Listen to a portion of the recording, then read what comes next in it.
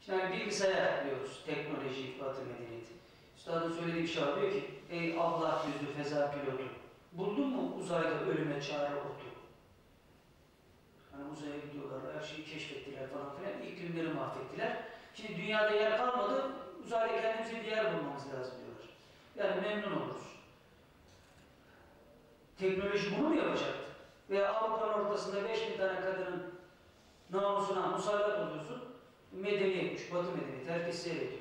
Her şey olup bittikten sonra falan filan böyle kıytırık bir şekilde müdahale ediyormuş. Ne yapıyorsunuz? Irak'a demokrasi getiriyorsun. Kime demokrasi getiriyorsun? Milyonlarca insanı öldürüyorsun demokrasi. Burada bize yutturuyorlar. Ama elhamdülillah sonları geldi. Sonları geldi. Oraya da geleceğiz inşallah. Fazla uzatmak istemiyorum canınızı sıkmamak için. Ama biraz daha sabretmenizi rica ediyorum. Şimdi burada bilgi dediğim şey, bilgi biriktiriyoruz ya bilgisayar. Bunların biri de hakikaten teknoloji müthiş. Yani Temin arkadaşlarla konuşurken onu söylüyorum. Ben 10 yaşındayken bizim mahallemizde şöyle bir şey konuşuluyordu. Avrupa'da görüntülü radyo çıkmış. Denildiğinde, hadi canım olur mu böyle şey, yani televizyon çıkmış, kimse inanmıyor. Şimdi öğreniyoruz ki o dönemde internet bile varmış. Bu kadar şey değil. Daha kabalar ama varmış yani.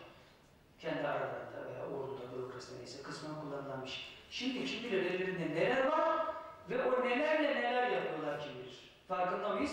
İşte filmlerin içine yerleştirilen 25. kare hadisesi. En çok hangi film seyrediliyor? Mesela Kurtlar Vadisi. Herkesin seyrettiği gibi.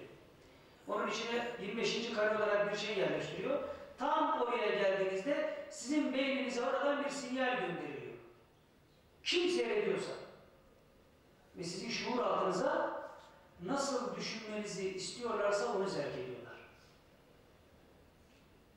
O zaman internet varmış ya biz televizyona inanmıyorduk. Şimdi neler var? Adamlar uzaylarda dolaşırken bir şeyler de kurcalıyorlar tabii ki. Allah muhafaza. Onun için bunların bilgisayarların evet üstadın ifadesiyle bir şeyi vardır böyle bilgisayar ismiyle iki satırlık bir şey. Diyor ki 150 sene var ki bozuk bütün ayarlar yanlışları sayıyor şimdi bilgisayarlar. Bunlar yanlışları saya saya saya saya fıtratı zedelediler. Kendileri teknolojinin altında kaldı.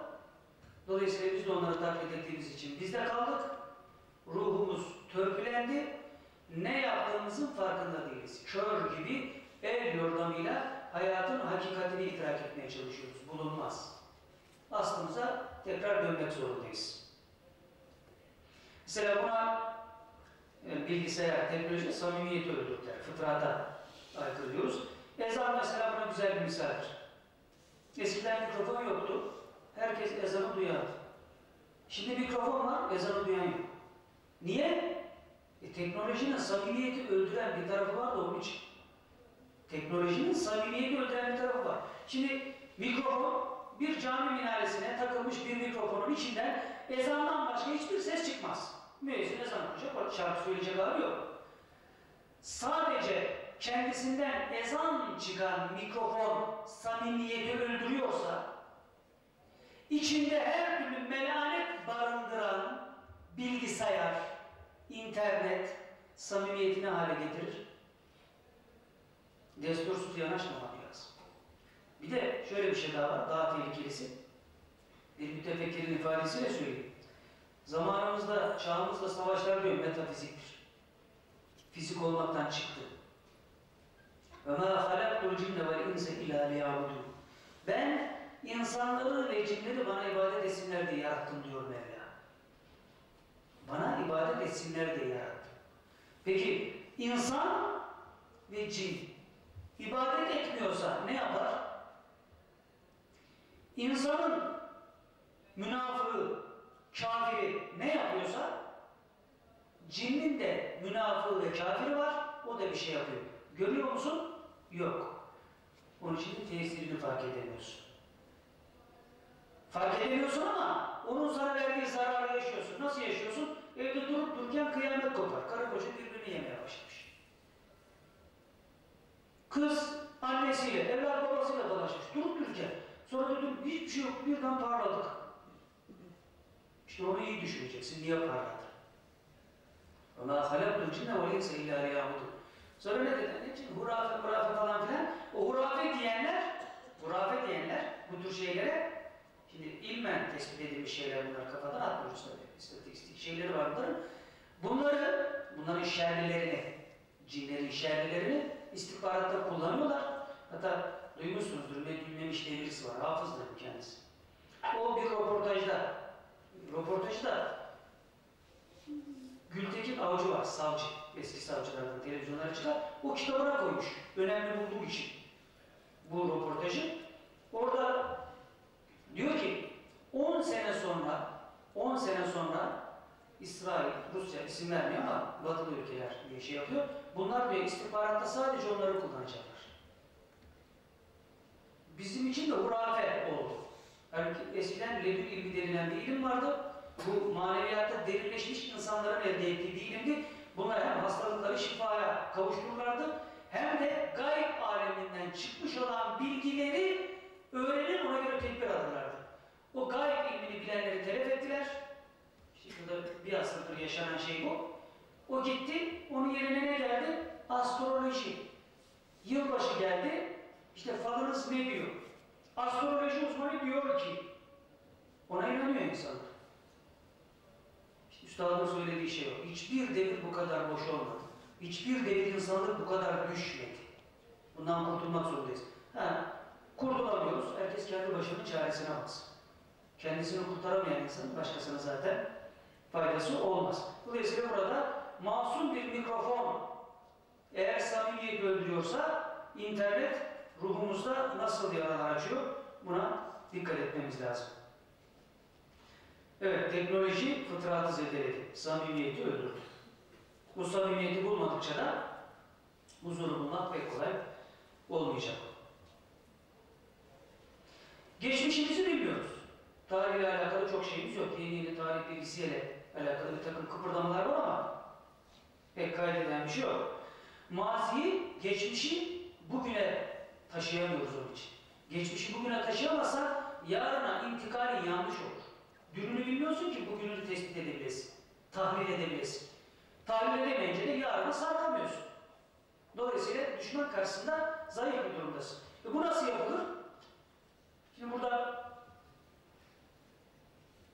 Radikal gazetesinde Hakkı Devrim diye bir yazar var, duymuşsunuzdur belki. Toplum tarih, tarih arşiv ister diye bir yazı var. Orada şöyle bir paragraf var, onu okumak istiyorum. Diyor ki, çok yıl oldu diyor, çok önceleri biz bu devlet arşivleri meselesini diyor, rahmetli Reşat Ekrem Koçu ile uzun uzun konuşmuştuk. Bu Reşat Ekrem Koçu tarihçidir, biraz da insaflı bir tarihçidir, vefat etmiştir. Ona diyor bu arşiv meselelerini yani tarihimizi ortaya çıkarmak, mazimizi bilmek meselesiyle alakalı konuşurken diyor bu arşiv meseleleri uzun uzun tartıştık diyor. Onun diyor bir sözünü kim bilir kaç kere tekrarladım bir kez daha tekrarlayacağım diyor. Onu dikkatli dinleyin. Diyordu ki Reşat Bey Osmanlı arşivi iki buçuk milyon parçadan oluşuyor. İki buçuk milyon evrak var.